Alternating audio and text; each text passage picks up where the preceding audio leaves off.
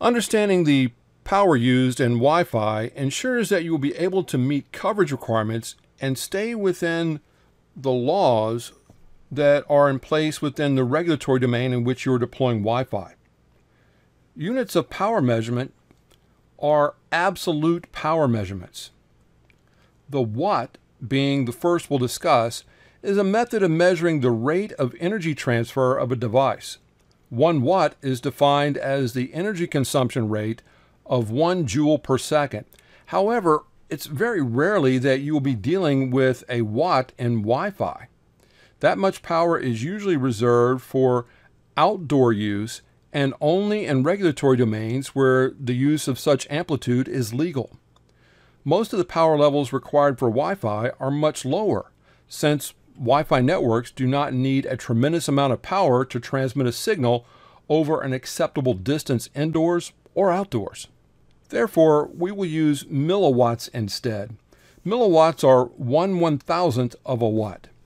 Consumer grade and even most small office, home office wireless devices may only offer between 30 milliwatts of output power up to 100 milliwatts of output power.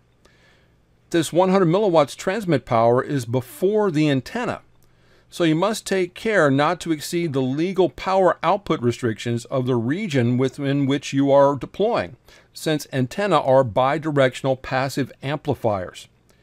In high density deployments, you will find most APs are set to a much lower power level to reduce cell overlaps and co-channel interference. Decibels. Decibels are used to measure change. However, when using dBm, decibels measured, you are dealing with an absolute power measurement.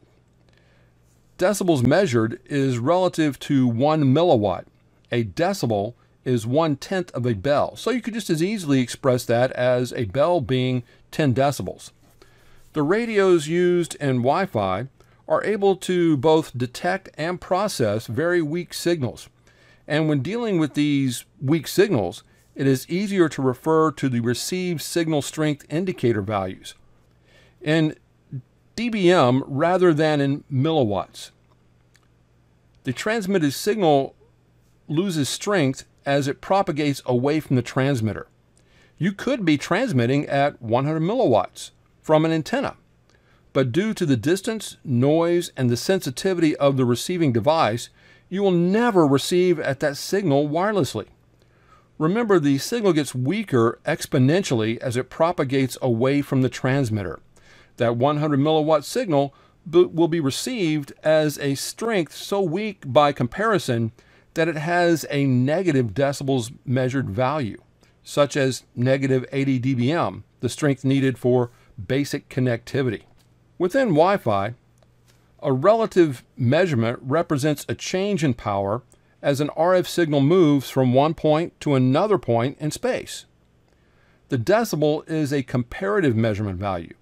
It is a measurement of the difference between two power levels.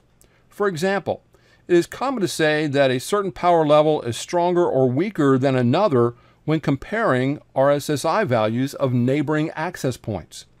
If you said a signal was 3 dB stronger than another, that would mean that signal is roughly twice as strong. This statement may be true, but does not tell us how strong either signal is an absolute measure. It's only a relative measure. You are simply comparing them to each other like saying one melon is twice the size of another without actually saying anything about their actual sizes. As you learned earlier, a decibel is one-tenth of a bel. We use this measure in Wi-Fi for comparison of signal strengths, not absolute measure. dBi is a logarithmic measure of change in power referenced against an isotropic radiator. An isotropic radiator is spherically perfect in its radiation pattern, such as the energy emitted by the sun. Antenna gain is usually measured in dBi. Another measure you may see used in antenna description is dBd. This is a decibel measured against or relative to a half-wave dipole antenna.